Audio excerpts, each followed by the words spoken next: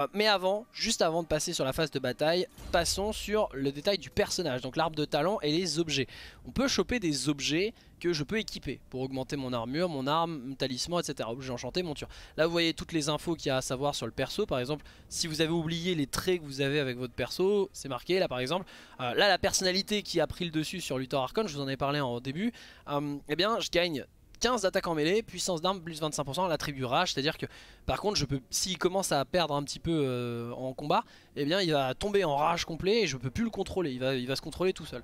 Euh, et pareil je peux avoir des disciples et des bannières pour augmenter, là par exemple le disciple fait que j'ai plus 4 de défense en mêlée pour les boucaniers pirates zombies et artilleurs pirates zombies, donc ils ont des petits bonus. À côté ça vous avez les arbres de talent, alors ça c'est super important, plus votre personnage va gagner d'expérience en gagnant des batailles etc plus je vais pouvoir avoir de bonus. Et par exemple, bah, vous avez les... Alors ici, c'est les effets de campagne que vous voyez là. Donc ça, c'est la, En fait, faut, faut l'imaginer, c'est à l'horizontale.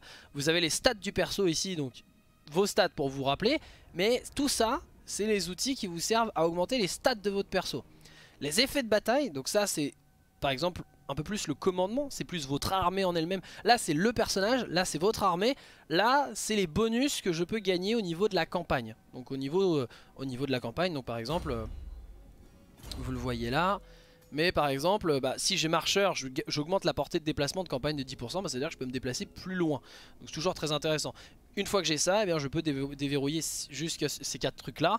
Par exemple, je peux augmenter le taux de reconstitution des victimes. Donc après une bataille, eh bien, je récupère plus vite mes troupes. Voilà, chacun fait ce qu'il veut. Hein. Vous pouvez vous débloquer. Moi, ce que je vous conseille quand même, c'est de récupérer toujours la déplacement au départ parce que c'est quand même super important. Euh, mais ensuite, bah, vous spécialisez peut-être par exemple. Moi, par exemple, j'adore l'artillerie avec euh, les, les, enfin, les, vampires pirates. Eh bien, je vais partir peut-être sur l'excès de poudre noire qui me permet d'augmenter les munitions pour les artilleries, les dégâts, etc.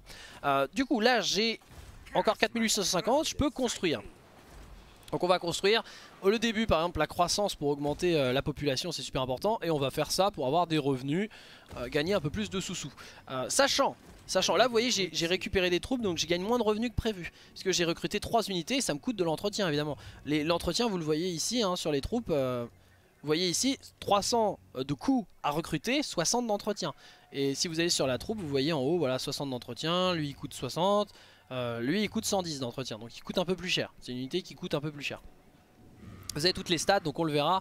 Euh, De toute façon vous restez dessus pour plus d'infos. Mais l'armure bah, c'est euh, la résistance aux dégâts à distance Et aux attaques en mêlée. Commandement donc c'est le moral. La vitesse de déplacement de l'unité Les attaques en mêlée, les défenses en mêlée. Puissance des armes donc c'est les dégâts causés pour, perforer l'armure etc Bonus de charge donc c'est quand il court vers l'ennemi hein, tout simplement. Munitions bah, c'est le, nombre de, le nombre de tirs qu'il peut faire et la portée, euh, donc bah, la portée de tir et pareil les dégâts à distance on peut augmenter pour faire encore plus mal. Donc voilà, là par exemple, alors c'est un peu plus là c'est un peu plus particulier. Comme je vous l'ai dit, il y a un mode horde, c'est-à-dire que mon perso, même si je perds ma capitale, en fait ma, la renaissante par exemple, eh bien potentiellement mon perso a la possibilité de déployer ses propres troupes en fait. C'est presque en fait comme un bâtiment de province à lui tout seul. Et du coup je peux augmenter ça, c'est l'équipage pirate. Donc euh, bah, c'est un pirate, il hein, faut imaginer il a son bateau et il peut faire grandir son bateau en gros. Euh, et là par exemple je peux augmenter cabine des officiers, ça me permettra, vous voyez le bonus à gauche là, hop. Je l'entretiens moins 5% pour toutes les unités, donc ça me coûte moins cher, ce qui est quand même intéressant pour avoir plus de revenus. Euh, et la capacité de recrutement, donc je peux recruter jusqu'à 3 troupes. Et en plus ça m'augmente la croissance d'équipage, donc comme un bâtiment classique, vous voyez j'ai de la surplus de population. Mon père, Là c'est les bâtiments, donc ça c'est un bâtiment, c'est une ville Et en fait c'est une ville en déplacement mon perso si vous voulez c'est particulier, par exemple le chaos, les hommes bêtes, etc. Ce genre de choses. Et du coup, eh je vais améliorer ce bâtiment-là avec un petit peu de sous-sous. Et euh, j'ai ça, l'entretien, ben, on va prendre l'entretien. Puis en plus, il y a une corruption vampirique. Euh, eh bien, on va partir là-dessus. On va partir là-dessus. Voilà, je peux plus construire, j'ai plus d'argent. Euh, on passe notre tour c'est le moment où les autres factions jouent. Si jamais ça met un peu de temps, vous pouvez faire avance rapide pour que ça aille encore plus vite. Euh, et là, ils jouent tous leur tour, donc ils vont déplacer leurs troupes, ils vont faire exactement ce que je viens de faire, mais eux, ça va beaucoup plus vite. Là, vous voyez, il y a des événements mondiaux qui arrivent, donc il y a une guerre qui vient de se déclarer entre deux factions, tout ça, tout ça, on s'en fout. Maintenant, le tour est terminé, je peux rejouer, donc c'est à moi.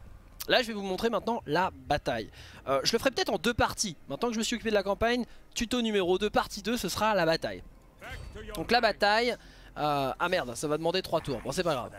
Euh, on va aller vite, on s'en fout. Ah voilà, lui par exemple, sa ville n'est pas du tout défendue, donc il n'y a que sa garnison. Son armée est ici. Vous voyez, Johnson là, contre Gyula, il est ici.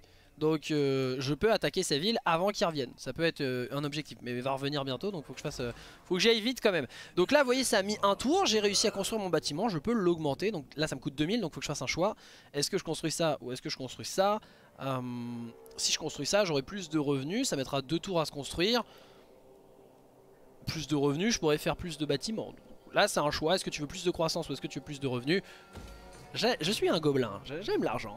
du coup, on va augmenter les revenus. Euh, du coup, là, mon tour est fini. Je peux pas faire grand chose de plus. Fin de tour, on passe. Et on va, euh, on va avancer. Il y a lui qui va bouger, on va pouvoir le voir en déplacement d'ailleurs. Oui, il va. Ok, il se rapproche vers l'est, vers moi. Mais il est trop loin, il n'a pas beaucoup euh, gagné de terrain. Et du coup, je vais pouvoir l'attaquer. Là, vous voyez, là, sa deuxième ville. Donc là, vous voyez, la capitale est marquée ici. Alors que ça c'est juste un étendard, un écusson classique. Là vous voyez c'est joli, c'est joliment fait, il y a machin etc. Donc si jamais je bats cette ville, la capitale se déplacera ici. Bon, ou là-bas d'ailleurs, il, a une autre province si je dis pas de bêtises. Bon on s'en fout. Le principe c'est la bataille. C'est le moment de la bataille, donc je vous conseille de sauvegarder rapidement toujours au cas où vous perdez la bataille quand même. Euh, vous pouvez soit laisser l'ordinateur, donc là vous voyez la barre de force, l'équilibre des forces, donc là j'ai un léger avantage dans la bataille selon l'ordinateur. Donc si je mets résolution automatique, je suis censé gagner mais difficilement. Je peux me barrer, hein, si je... parce que c'est un siège, donc c'est une ville. Je peux me barrer en mode ah non, je vais me faire défoncer, je, repars. Ou j'encercle et j'attends qu'ils se rendent. En fonction de certains tours, là par exemple si j'encercle, vous voyez le siège, ça m'indique que dans 12 tours, eh bien ils se rendront. Donc dans 12 tours, si je tiens 12 tours, sans jouer, eh bien ils se rendront dans 12 tours. Mais on va la jouer la bataille. Je veux la jouer. On va prendre part. je sais plus ce que c'est. C'est inspection du terrain. Ah oui, vous pouvez avoir. Euh, c'est vrai, vous pouvez avoir un aperçu du champ de bataille. Donc le champ de bataille ressemblera à ça.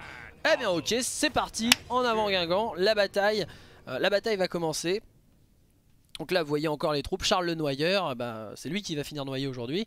Donc il a euh, deux unités d'infanterie classique, deux unités d'arquebusier, euh, infanterie classique mais avec arme d'ast, donc euh, lance, un truc qui se fait exploser et des chauves-souris. Ok, donc moi, c'est vrai que Luthor Archon a des unités de merde je trouve pour commencer mais bon ça reste, ça reste ok. Donc au niveau du nombre je le bats hein. déjà au niveau du nombre je le bats. Donc là par exemple ma menace, la menace c'est ces trois unités là c'est alors le tir parce qu'ils ont, ils ont des arquebusiers euh, qui tirent à très, loin, enfin, très longue distance. Donc là phase de bataille, début de phase de bataille on est sur une situation, alors déjà la map est très jolie Mais vous voyez la carte est délimitée par ici vous voyez, hop, là ça clignote, hop. Donc on ne peut pas dépasser cette bataille. Et vous m'avez dit, et là je vous dis, mais je vous ai dit, oui c'est du temps réel. C'est juste qu'il y a quand même une phase de déploiement au tour par tour au départ. Donc c'est à dire que vous avez un rectangle rouge où l'ennemi va se déployer, vous avez un rectangle jaune où vous allez vous déployer. Donc là par exemple, eh bien je, dois, je peux me déployer jusqu'ici. Et les troupes d'avant-garde, par exemple, je sais pas si vous avez vu tout à l'heure, il y avait le truc d'avant-garde, ça me permet de me déplacer dans le carré blanc en fait. Je peux pas aller ici mais je peux déployer tout ça. Euh, par exemple eux ont l'avant-garde. Vous le voyez ici c'est euh, déploiement de l'avant-garde. Du coup je peux les déplacer ici par exemple. Je peux les faire se déployer directement ici. On va les mettre dans le petit arbre. Puisqu'ils quand ils sont dans les arbres vous voyez il y a un petit effet de dissimuler. Hop un petit œil ça veut dire qu'ils sont fufu tout simplement. Ils sont furtifs. Alors on va commencer par faire des groupes. Donc si vous voulez faire des groupes donc faites CTRL clic gauche pour récupérer plusieurs unités et vous faites le petit drapeau regroupé ou vous appuyez sur la touche G, ça va faire un groupe. Donc là par exemple, et si vous double-cliquez, ça récupère toutes les troupes du même, euh, du même truc, du même, euh, de la même unité, enfin du même type pardon. Et c'est plus simple en fait, si vous cliquez ici ensuite, vous pouvez récupérer toutes les troupes plutôt que de toutes les sectionner une à une. Donc là par exemple, on va mettre mes euh, fusiliers au premier plan, on va mettre les... donc je peux, en restant appuyé sur clic droit, je peux les rediriger en formation je veux les mettre, je veux les couvrir toute la zone. On va mettre Coco Lastico ici. Donc ça c'est mon chef de faction, vous voyez, chef de faction qui est ici. Et si j'ai des héros, en fait c'est pas des seigneurs, ils ne peuvent pas contrôler une armée. Mais les héros vont avoir des outils, malheureusement je peux pas vous les montrer, mais bon c'est pas grave, mais ils peuvent, ils peuvent aussi se déployer ici. Alors le fusilier, alors ça c'est des arquebusiers donc ils tirent à beaucoup plus longue distance. Vous le voyez avec cette espèce, vous appuyez sur espace, vous avez votre formation et la distance de tir. Et par exemple vous voyez eux, donc c'est des pistolets en fait. Ils ont, donc ils tirent moins loin. Alors qu'eux ils ont des arquebuses. donc il tire beaucoup plus loin. C'est ça le principe. Donc ça c'est en appuyant sur espace. Alors j'ai mon machin qui se fait exploser et j'ai mes chauves-souris qu'on va déployer par là. Et d'ailleurs complètement con, je vais mettre, hop, en fait lui ici sera plus intéressant au niveau stratégie. Et on va mettre les chauves-souris ici. Et là vous voyez les chauves-souris, elles aussi elles tirent avec des pistolets donc la différence c'est que les chauves-souris vont beaucoup plus vite évidemment. Donc on va pouvoir avancer. Donc là quand je fais commencer bataille, par contre là c'est du, temps réel. On peut plus déployer ses troupes très vite comme ça. Donc là, bataille commence. Si je clique là, bah, il faut un temps de déplacement. Alors, très important, la vitesse de l'unité. Si je... Là il marche, par défaut il court. En courant, eh bien ils peuvent perdre. Vous voyez, alors je vais cliquer ici, vous avez les, les informations. Vous avez les informations. Alors là il y a un sort, il va me balancer un sort dans la gueule. Ça fait mal ça fait mal, je perds des troupes. Donc je vais mettre pause quand même, on peut mettre pause, hein. si jamais vous commencez etc, on peut mettre pause pour essayer de revoir des trucs, ça peut être intéressant. Vous avez toutes les stats que vous voyez ici.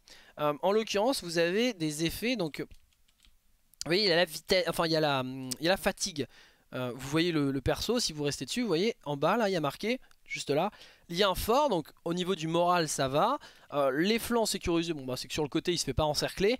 Et il est enthousiaste, donc c'est qu'ils sont, euh, ils sont pas fatigués pour le moment. vous imaginez la chanson, on n'est pas fatigué. Euh, ils peuvent courir tout simplement. S'ils sont fatigués, bah, ils courent moins vite et ils sont moins performants en combat. Le principe, alors les barres que vous voyez ici, donc ça, la barre verte c'est les points de vie tout simplement. Alors évidemment comme il y a plusieurs troupes, c'est l'idée que comment se porte le régiment.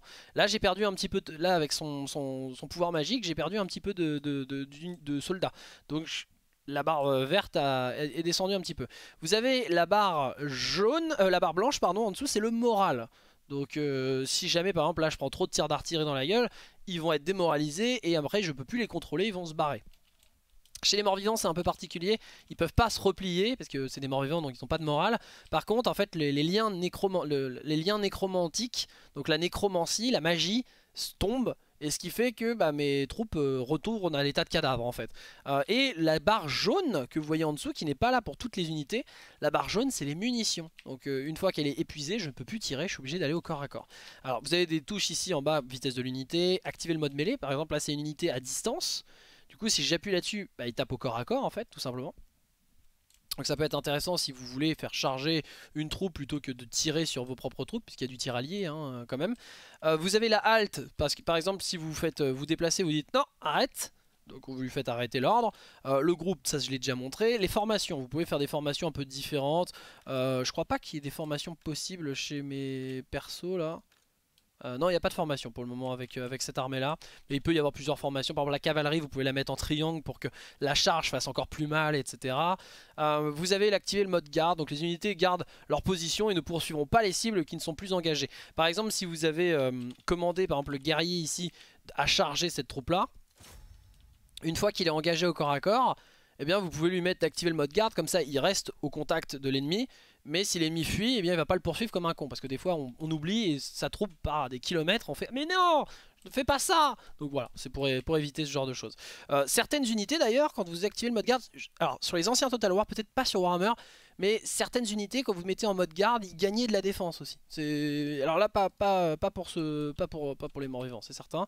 Et vous avez euh, battre en retraite, euh, bah, vous pouvez forcer la retraite euh, pour que les mecs fuient. Parce que des fois, ils seront coincés. Si vous faites, vous dites reculer par là, mais ils vont pas forcément le faire. Donc vous pouvez faire une retraite temporaire pour qu'ils se replient. Le problème, c'est que des fois, avec certaines armées, certaines troupes, genre les Skaven, les orques, des fois ils reviennent plus. Donc c'est embêtant, faut faire attention à ça. Et je l'utilise quasiment jamais par exemple. donc voilà, vous pouvez mettre au ralenti pour que ça aille lentement, vous pouvez avancer, etc.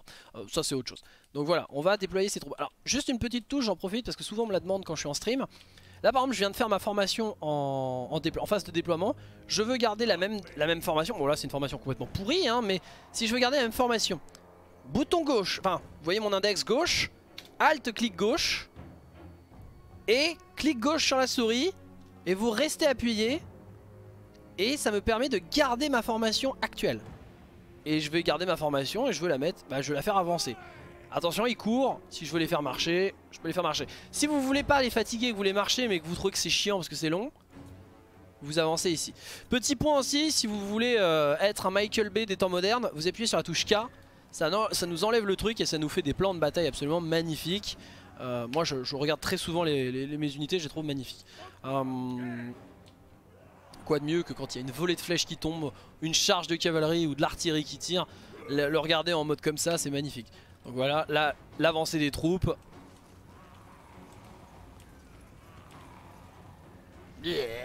bon là c'est un peu l'effort Dead. Euh, j'ai... Alors ce genre d'unité faut souvent la micro-gérer parce qu'elle est très fragile, les chauves-souris comme ça. On va avancer, ils sont toujours... Là vous voyez il y a l'effet, le petit arbre qui indique que je serai toujours dissimulé si je vais là. Alors là il lance un nouveau sort, parce que c'est un magicien en face. Il lance un nouveau sort qui est un, sort un peu particulier. Donc là il me tire dessus parce qu'il a plus de portée que moi, vous voyez, il a plus de portée que moi, moi je suis à portée. Là vous voyez la portée ennemie en, rouge. Et là je suis à portée donc je me fais tirer dessus. But it's ok. On va charger comme un gros bourrin. Ah mais mes arquebusiers tirent.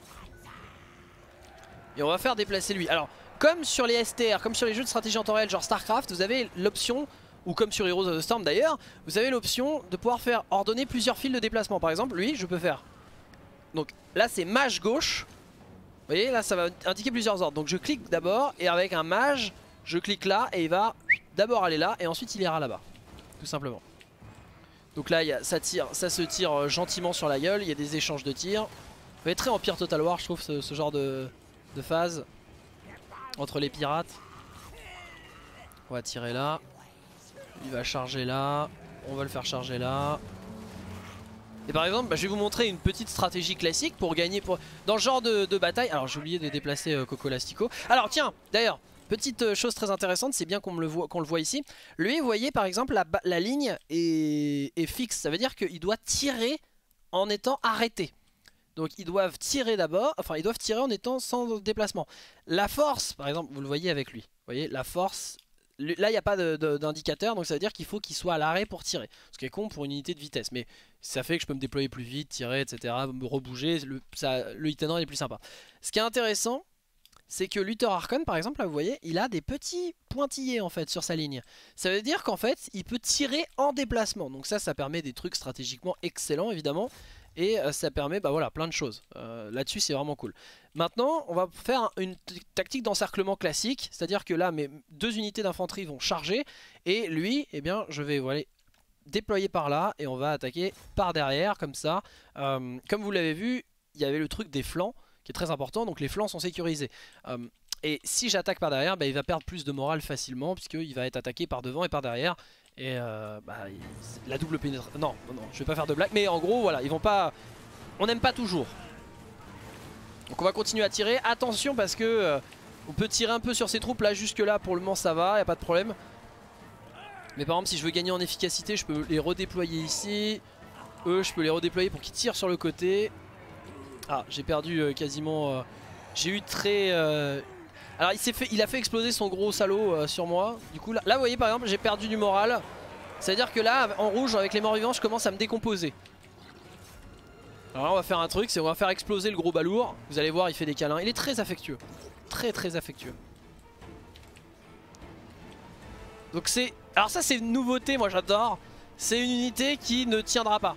Voilà. Il faut faire un câlin Câlin Et bim Et il se fait exploser. Donc là, là, je viens de démolir une unité. Là, ça a fait très mal. Là, dans le dos, comme ça, ça a fait très très mal. Alors, j'ai oublié mes Mongoul, mais on va les faire charger. Et euh, mes chauves-souris, on va les faire charger ici. Alors, ce qui peut être intéressant, vous voyez, par exemple, c'est une unité à distance, normalement, mes chauves-souris. Mais comme ça, c'est une unité à distance, je vais l'engager au corps à corps parce que généralement, les, troupes qui tirent à distance, elles n'ont pas forcément des bonnes valeurs au corps à corps. Donc, je vais le faire charger au corps à corps. Comme ça, en fait, je vais le faire cesser le feu. Comme ils seront au corps à corps, ils pourront plus tirer, tout simplement. Donc ça permettra à mes troupes en, frontline de d'être tranquille. Là, par exemple, ils vont se prendre une charge sur le flanc, donc ils vont pas trop aimer. Et là, voilà, comme ça, ils vont arrêter de tirer, puisque j'ai mes chauves-souris qui les ont engagés. Attention, parce que ces unités-là sont quand même fragiles, donc faut les surveiller. Donc là, vous voyez, le drapeau clignote. C'est que le moral commence à descendre, et là, vous voyez les morts-vivants, quand c'est rouge, quand les, morts vivants sont rouges, c'est que petit à petit, toute l'armée en fait se décompose. Là, vous voyez, tout se décompose, ils viennent de perdre tout leur régiment d'un coup. Petite, ça se fait petit à petit, mais là, vous voyez, par exemple, voilà, toutes les troupes se sont détruites. J'ai même pas besoin de les poursuivre.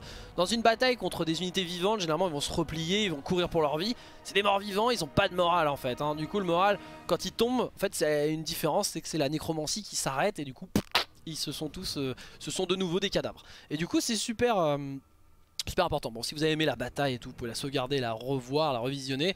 Donc, terminer la bataille. On va avoir un autre outil. Donc là, bon, j'ai joué n'importe comment. Le but, c'était de vous montrer le truc, évidemment. Euh, j'ai joué n'importe comment. J'ai perdu beaucoup de troupes alors que j'aurais pu en perdre beaucoup moins. Euh, et là, il a détruit, vous voyez, il a détruit 70 personnes en se faisant exploser. Donc, c'est quand même vachement intéressant. Et là, euh, on va avoir des options. Victoire de justesse. Donc, genre ça a été... Alors vous avez victoire, euh, vous avez victoire valeureuse, euh, non, victoire, euh, en gros, victoire facile, victoire difficile, victoire à la Pyrrhus qui est, ça s'est fait au cordeau quoi, ça s'est fait de justesse. victoire, voilà, victoire, vous avez victoire décisive, victoire de justesse et vous avez victoire à la Pyrrhus qui en gros, victoire à la Pyrrhus c'est, en gros vous avez perdu quasiment autant que l'ennemi quoi. C'est quasiment, enfin ça a été une victoire très très coûteuse. Et là, donc victoire de justesse, on est sur l'intermédiaire. Donc c'était moyen bien, on va dire.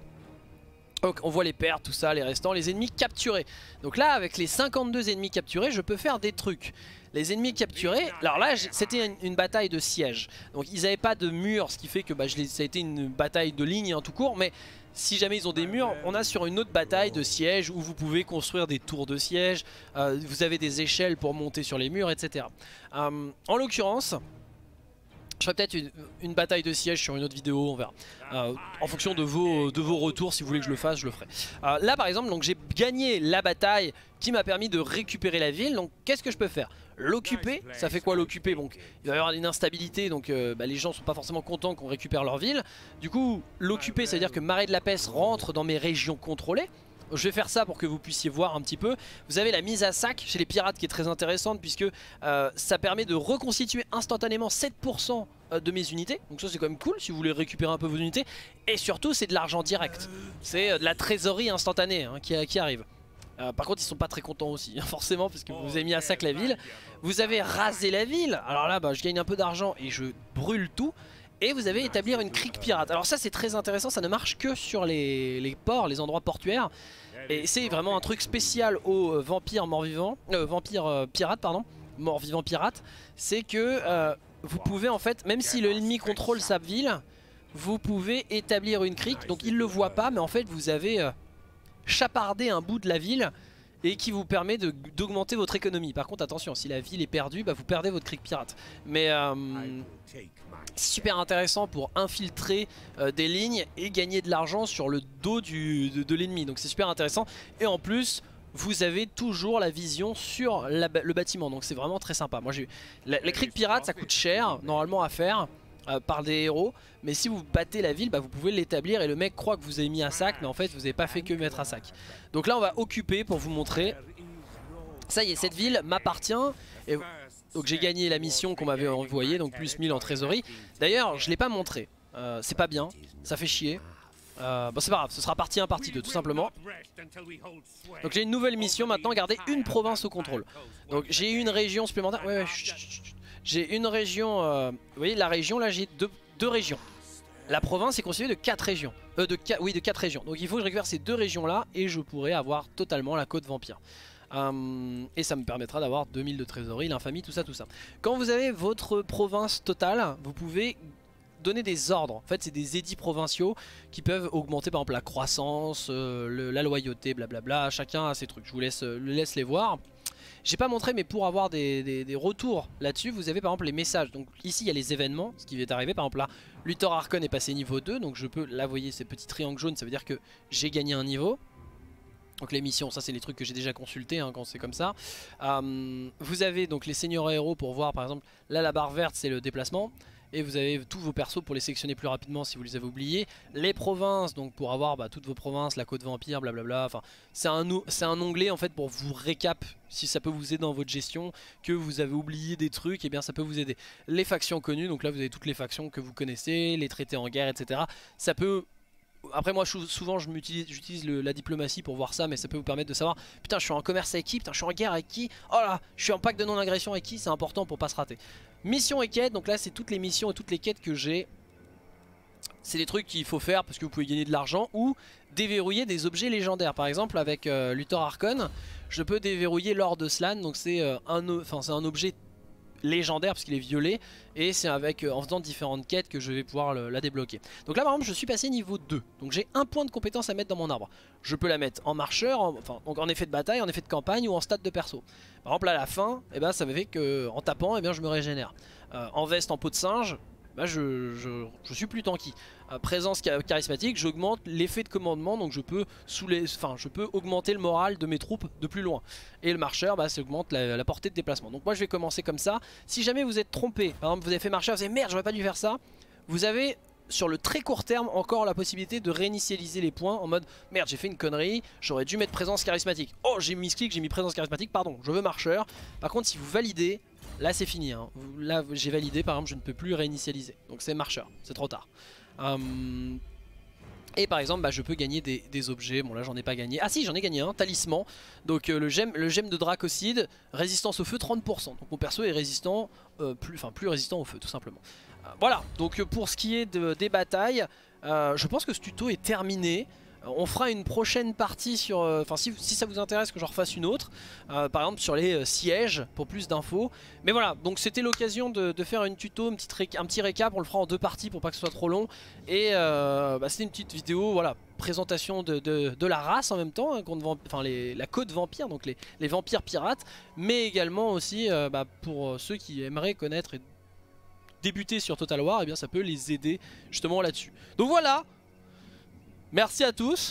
On se dit à bientôt pour une prochaine vidéo. N'oubliez pas d'aller consulter l'histoire d'un héros sur Warhammer que j'avais fait, un petit hors-série pour vous présenter un peu toutes les factions. Ça peut vous aider pour débuter aussi, vous dire Ah, cette celle-là me plaît bien, les, vikings du Nord et tout, ça, c'est cool. Donc n'hésitez pas à la voir, moi ça me tient à cœur en plus. Donc euh, voilà, n'hésitez pas à me donner tous vos retours dans les commentaires si vous en voulez d'autres, blablabla. Je fais plein de bisous, à bientôt pour une prochaine vidéo plus dans.